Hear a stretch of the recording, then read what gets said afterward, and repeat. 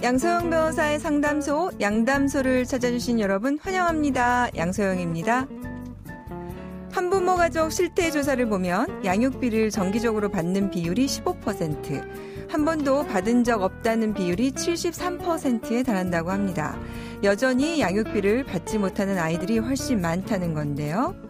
양육비 문제 해결을 위해 양육비 구상권법을 대표 발의한 분이 있습니다. 더불어민주당 서영교 의원인데요. 직접 연결해 자세한 내용 알아봅니다. 서영교 의원님 안녕하세요.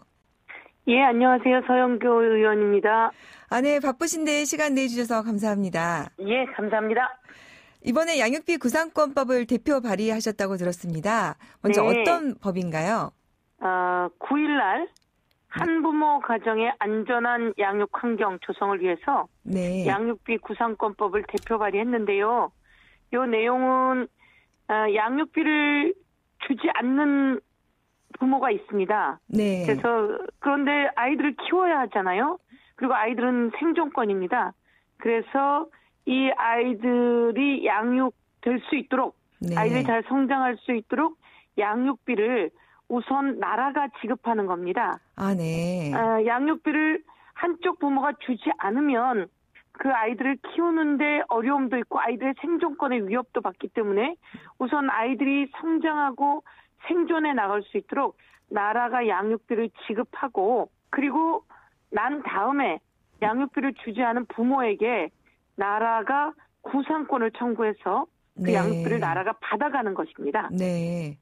그러면은 이번에 이제 의원님이 이렇게 국가가 나서서 양육비를 먼저 이렇게 지급하도록 해야 되겠다. 이렇게 예. 생각하시게 된 이유는 어떤 걸까요?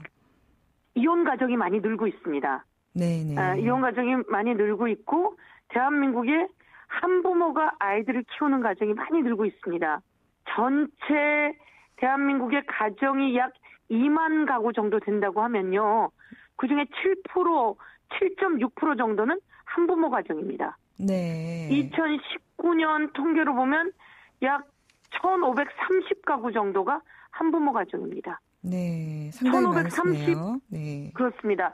1,530가구가 한부모가 아이들을 홀로 키우는데 이 중에 양육비를 제대로 꼬박꼬박 받았다고 하는 가구는 15%밖에 되지 않습니다. 네. 그럼 75%는 양육비를 제대로 못 받았다는 이야기인데요. 그걸 계산해 보면 약 1,300가구가 넘는 가구가 양육비를 제대로 받고 있지 못한 실정입니다. 네. 주로 모가 엄마가 아이들을 키우는 경우가 많이 있겠죠. 네, 네. 또 다른 경우도 있을 것이고요. 아이들을 키우다 보면 자기 어, 경제 활동을 하기 어려운데 또 경제 활동을 한다고 하더라도 상당히 열악한 상황일 겁니다. 그러면 아이들은 제대로 생존하기 어려운 상황이 될 수 있죠. 학교도 다녀야 되죠. 성장하는데 먹을 것도 있어야죠. 입을 것도 있어야죠. 주거비도 있어야죠.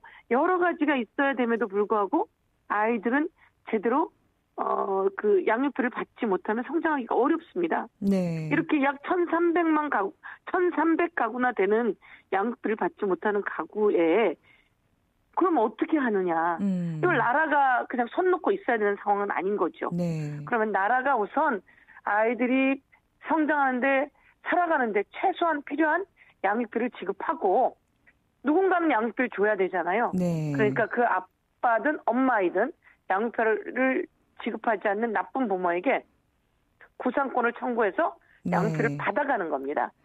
기존에 지금 양육비를 받지 못했을 때 취할 수 있는 이제 이행을 강화하기 위한 법적인 절차들을 마련한 법안들이 있는데요. 이번에 네. 우리 서영교 의원님이 발의하신 양육비 구상권법은 이제 어떤 법이 가장 특이하게 강조된 법일까요? 어, 기존에 있는 모든 것들은 양육비를 주지 않으면 그 다른 부모로부터 양육비를 받아내게 하는 과정이었습니다. 네. 양육비를 받아내려면 어 실제로 어 양육비를 주지 않는다고 소송을 걸어야지 되고요. 소송을 걸어서 판결을 받아야 됩니다. 네. 그런데 판결을 해줍니다 법원에서 아유 당신 양육비 줄 수 있는데 왜 양육비 안 줍니까? 그리고 아이들 최소한의 그 생존을 위한 것이니까 양육비 주세요라고 판단을 내리면서 어 뭐 월 30만 원씩 주세요. 월 50만 원씩 주세요 이렇게 판결을 내립니다. 네. 그런데 그 다음에도 양육비를 주지 않습니다. 소송하는 데까지도 너무나 고통스럽고 힘든 과정인데 판결이 나도 양육비를 주지 않습니다. 네. 그래서 어 저희가 또 법안을 만들어서 양육비를 주지 않는 그 나쁜 부모가 어 실제로는 운전면허도 정지시킨다든지 네, 지난번에 아니면 출국을 예, 예. 금지시킨다든지 네. 명단을 공개한다든지 이렇게 해나갈 수 있습니다. 네, 네. 그런데 그렇게 되려면 또 그 사람에 대해서 양육을 주지 않는 것에 대해서 어 소송을 걸어서 이 사람이 일정 정도 감치 명령 네. 어, 실제로는 갇히는 상황이 이루어지고 난 다음에서야 거기까지 그리고 난 다음에도. 그것을 이행하지 않았을 때 뭐 출국 정지라든지 운전면허 정지이지요. 네. 이 과정이 너무너무 오래 걸리고 그러고 난 다음에도 주지 않으면 사실은 왜 그러냐면 돈을 받기 위한 것이 아니라 아이를 키우기 위한 것이잖아요. 그렇죠. 그 양육비는 어, 헤어진 다른 부모에게 주는 돈이 아니라 아이를 낳았을 때 아이를 위한 최소한의 의무를 어, 이행해야 되는 최소한의 성장을 위한 비용이지 네. 그 서로 채권 채무 간의 관계가 아닙니다. 그렇죠. 부모가 네. 해야 될 기본 일인데 음. 근데 이것을 하기 위해서 소송을 여러 번에 걸쳐서 판단을 받고 뭐 여러 가지 한다고 해도 실제로 양육비가 나오지 않으면 오히려 네. 고생만 할 뿐 아이를 키우는데 실질적으로 도움이 되지 못하고 있는 상황입니다. 음. 기본적으로 그것은 해야 하고요. 네. 그런 상황은 같이 가더라도 제가 하고 싶은 말씀은 아이들이 엄연히 존재하는데 네. 아이들이 제대로 커야 아이들이 또 어른이 되어서 이 세상을 지탱할 기둥이 될 텐데 음. 어린 시절부터 박탈감 그리고 부모님이 싸우는 과정 그리고 제대로 어 그 지원받지 못하는 음. 이런 것들을 그대로 나라가 지켜봐서는 안 된다. 나라는 이것을 해야 될 임무가 있기 때문에 나라가 최소한의 양육비를 지급하십시오. 네. 그리고 나라는 힘이 있으니 구상권을 청구해서 음. 어, 돈을 받아내십시오. 그러니까 이제 법을 만든 것입니다. 네, 의원님이 이제 그 당사자들에게 그러니까 불가피하게 소송을 하게 시키는 거 일단 그거는 예. 그걸 하더라도 국가가 예. 먼저 우선 나서서 돈을 예. 먼저 주고 그다음에 돈을 받아가는 거를 일단 우선 국가가 좀 나서서 좀 도와줘야 되겠다.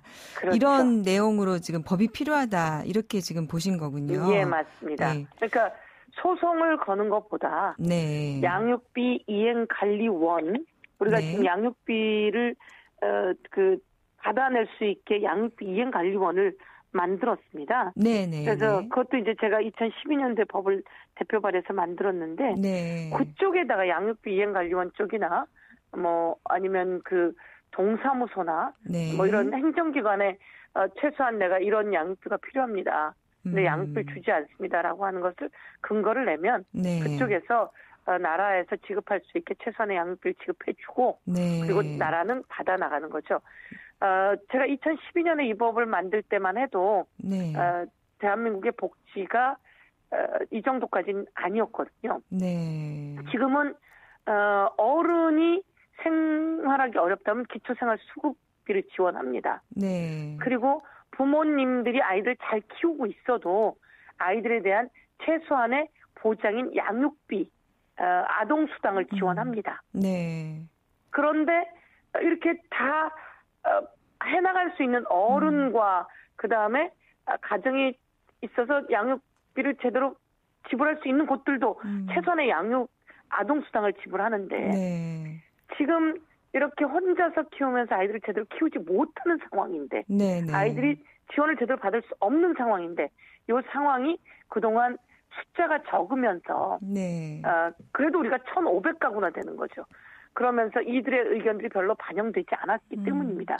이제는 어, 이 반영이 되어서 양육비를 나라로부터 받고 네. 양육비를 주지 않은 사람에게 구상권을 청구해서 받아가는 시대가 되었다. 네. 이렇게 말씀드릴 수 있을 것 같습니다. 정말 가장 일찍 이 양육비 문제에 대해서 그 국가가 책임을 예. 져야 된다는 문제 이슈를 가장 관심 있게 보고 예. 예, 입법에 관심을 이제 기울여 주시고 준비를 해 주셔서 정말 감사드리는데요. 사실 예. 이제 반대하는 사람들 입장에서는 아니 국가가 이렇게 대지급까지 해 가면서 개인 간의 사정에 개입하는 것은 아니냐라고 또 이제 반대하시는 분들이 있다 보니까 예, 예. 이번에 이게 정말 잘 통과가 될지 걱정이 되기도 합니다, 의원님. 어떻게 잘 되겠습니까, 이번에, 의원님? 국가가 개인 간의 사정에 너무 개입하는 것 아니냐 이렇게 그러니까요. 네. 국가가 개인 간의 사정에 개입하는 게 아니라 국가가 어, 최악의 상황에 있는 아이들의 생존을 위해서 해야 할 임무를 하는 것이고요. 그 다음에 음, 그 의무를 다하지 않은 부모에게 어, 벌을 가하는 것은 국가가 해야 될 임무입니다. 저희가 이제 이런 식의 사고들을 함으로써 네. 과거에 아동을 학대하는 경우에 아, 국가가 집안일에 너무 개입하는 거 아니냐. 네. 그리고 어, 학교에서 아이들을 체벌하는 경우에 아니 훈육을 위한 것인데 국가가 너무 거기에 채, 개입하는 거 아니냐. 그리고 엄마가 아이를 돌보면서 손도 댈 수 있지. 네. 아빠가 아이를 돌보면서 손도 댈 수 있지. 어떻게 여기 개입하느냐. 이런 얘기들이 많이 있었습니다. 네. 그러는 동안 수없이 많은 아이들이 아동학대로 죽어갔고요.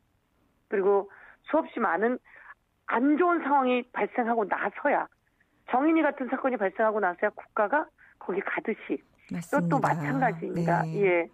이 상황은 아이들의 생존을 위한 것이기 때문에 국가가 하는 일은 더 소중하게 국가가 네. 해야 될 일이다. 그리고 어, 당연히 양육비를 내지 않은 사람에게는 받아야죠. 국가가 돈을 지급했으니까. 네. 그래서 이건 개인 간의 일에 국가가 개입하는 거 아니냐라고 하는 사람들은 이제 그런 얘기를 할 수 있는 상황이 아니다. 네. 그 시대는 지났다.